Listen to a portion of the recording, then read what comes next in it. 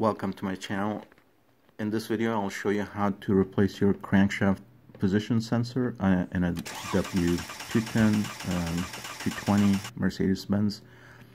It's really very easy. Uh, driver side engine compartment. Um, it's kind of hard to see. You might need your cell phone to and a, and a light to uh, see where it is.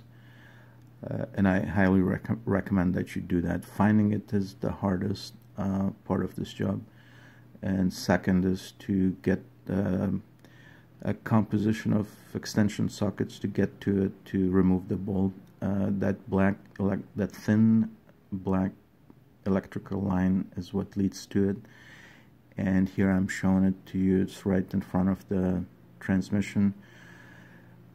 Uh, you just press that and remove the electrical connector the E8 socket uh, uh, bolt.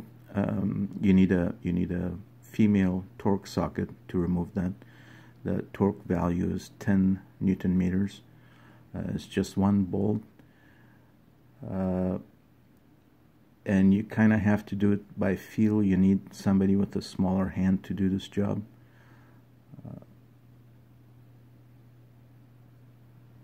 and uh, you know the Harbor Freight uh, extension set socket extension set is perfect for this job if you can get one.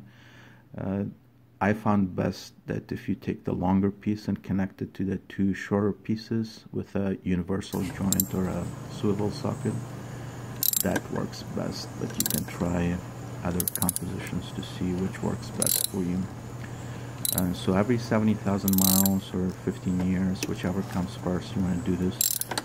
Uh, the symptoms are, um, as you noticed in the beginning of the video, the starter turns, but it cannot turn the engine on, so it could be confusing with um, a problem with your uh, fuel system, uh, fuel pump, for example.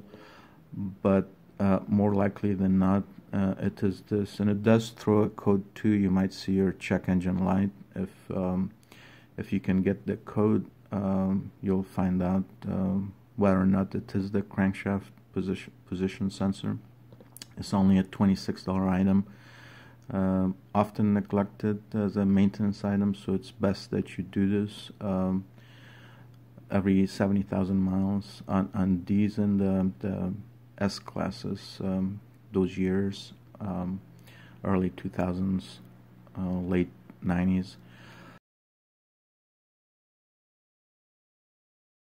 If this does happen to you, don't panic.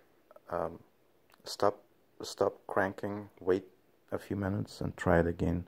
Most likely, it will start and get you to a safe place uh, where you can order the part and uh, do the